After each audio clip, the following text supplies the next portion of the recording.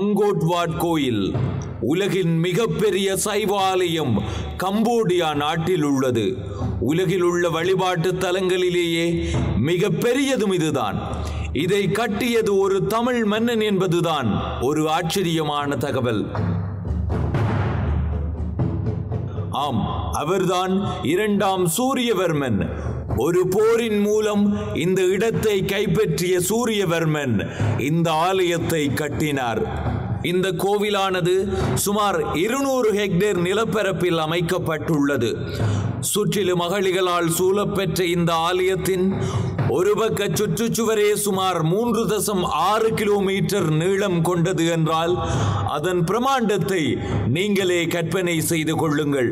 இதுவரை நம் தமிழர்களின் சாதனைகள் பற்றி நாம் தெரிந்த தகவல்களிலேயே மிகச் சிறந்த ஒன்று இது.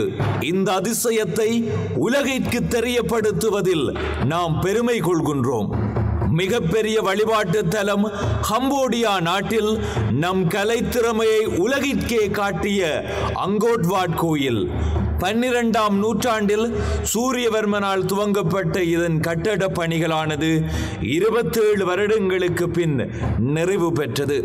கட்டி முடித்த சிறிய காலத்திலேயே சூரியவர்மன் இறந்து விட்டார். பின்பு ஆறாம் ஏவர்மன் ஆட்சிக்கு வந்த பிறகு புத்த கோவிலாக மாறிய இந்த ஆலயம் அடர்ந்த காட்டிற்கு நடுவே இந்த கோயில் அமைந்திருப்பதனால் பதினாறாம் நூற்றாண்டுகளில் மக்களால் புறக்கணிக்கப்பட்டு சிதிலமடைந்தது. பிறகு போர்த்துகீச துறவியினால் மீண்டும் வெளியுலகிற்கு வந்தது.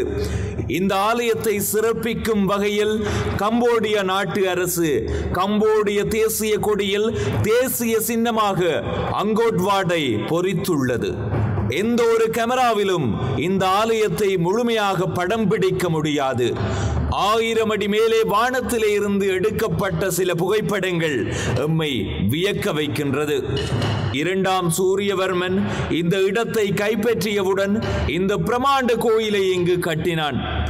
இந்த இடம்தான் அவனின் தலைநகரமாக சொல்லப்பட்டது. உலகில் கட்டப்பட்ட வழிபாட்டு தலங்களிலேயே உலகின் மிக பிரமாண்டமான வழிபாட்டு தலமும் இதுதான். ஒரு கலை பொக்கிசம் என வர்ணிக்கப்படும் இந்த கோவில் திரும்பிய இடமெல்லாம் சிற்பங்களை வடிவமைத்துள்ளனர். இந்த கோவிலின் ஒரு பக்க சுவரே மூன்று தசம் ஆறு கிலோமீட்டர் என்றால் இந்த ஆலயம் எவ்வளவு பிரமாண்டமாக கட்டப்பட்டிருக்கும் என்பதை கற்பனை செய்து பாருங்கள். இந்த கோவிலின் ஆரம்ப கட்ட வடிவமைக்கும் பணிகளானது இரண்டாம் நூற்றாண்டின் முதல் பாதையில் தொடங்கப்பட்டது. இருபத்தி ஏழு வருடங்கள் இந்த இடத்தை ஆண்ட சூரியவர்மன் இறக்கும் சில ஆண்டுகளுக்கு முன்பு இதன் வேலைகள் நிறைவடைந்திருந்தது.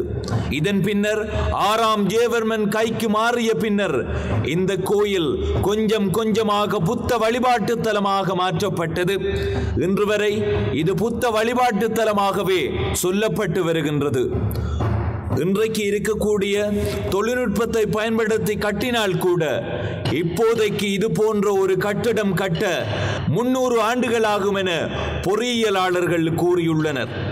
ஆனால் இந்த தொழில்நுட்பம் இல்லாத அந்த காலத்தில் வெறும் இருபத்தி ஏழு ஆண்டுகளில் இந்த ஆலயம் கட்டி முடிக்கப்பட்டது இவ்வளவு சிறப்பு வாய்ந்த இந்த இடத்தை பற்றி எத்தனை பேருக்கு தெரியும் என்று தெரியவில்லை.